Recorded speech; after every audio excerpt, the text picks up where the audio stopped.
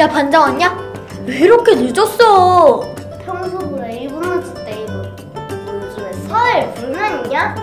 왜 이렇게 시비를 건데? 시비는 무슨? 빨리 앉아 봐봐. 내가 재밌는 거 보여줄게. 아이고 또 무슨 헛맹 소리 하시려고요 야, 네가 사회에 불만 있는 거 아니냐? 왜 이렇게 사람 말을 안 믿어? 뭔데 뭔데 우리 재밌는 소식 또 무슨 즐거움 주시려나? 야, 손 가지고 와라. 놀라지 마라. 나 성공 배출한다. 손금? 지가 만든 손금을 봐 배웠지? 스승님한테. 스승 누구? 공부도 못해서 타인한테 매일같이 혼나는 지가 뭔 스승 잔말 말고. 보자, 보자. 왜 뭔데 왜? 절망적이네. 뭐가? 두뇌 선을 보니까 거의 뭐 생각이 없는 수준이네. 치워 지가 어제 감 판단해 나 반장이야 아이씨, 그 됐고 빨리 가지고 와봐. 음, 아까 봤는데 되게 놀랄만한 손금이 있었어.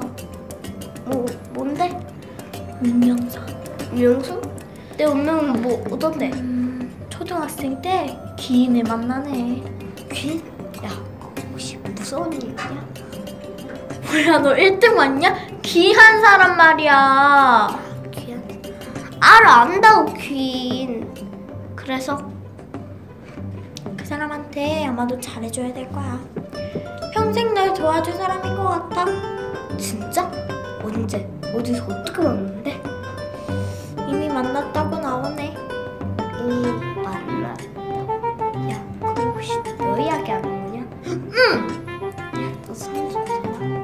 왜? 너도 손금 보려고? 아니 깨물려 너 손톱에 손금 생겼네 모양 보니까 귀신을 만나겠어 아 진짜 야 아프잖아. 아, 더러 진짜. 지금 나 당장 아픈 손이라고 신경 써 손톱 타령하지 말고 아, 저렇게 신경 써줬다니. 그래 근데